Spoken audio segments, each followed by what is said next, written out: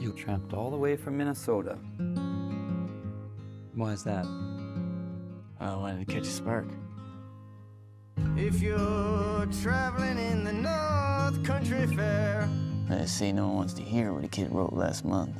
Well, I like your songs. where the winds hit heavy on the borderline, Who wrote this? He did. remember me. How about that Joan Baez, folks? But she's pretty. Sings pretty. Maybe a little too pretty. Your songs are like an oil painting at the dentist's office. You're kind of an asshole, Bob. If you go with snowflake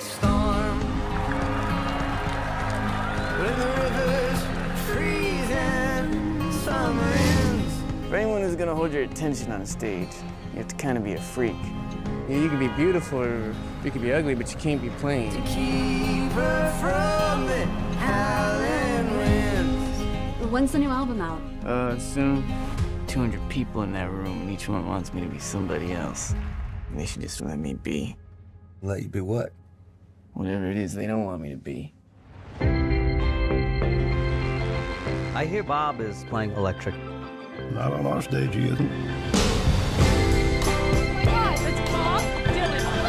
Once upon a time, you're just so fine. They just want me singing blowing in the wind for the rest of my goddamn life. Then you, Well, this is gonna piss some people off.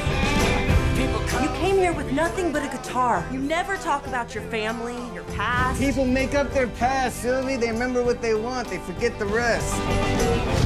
I want to know which side he's on. I'm not sure they want to hear what I want to play, Johnny. I want to hear it. How does it feel? Turn it down! Play it loud. Make some noise, BD. To have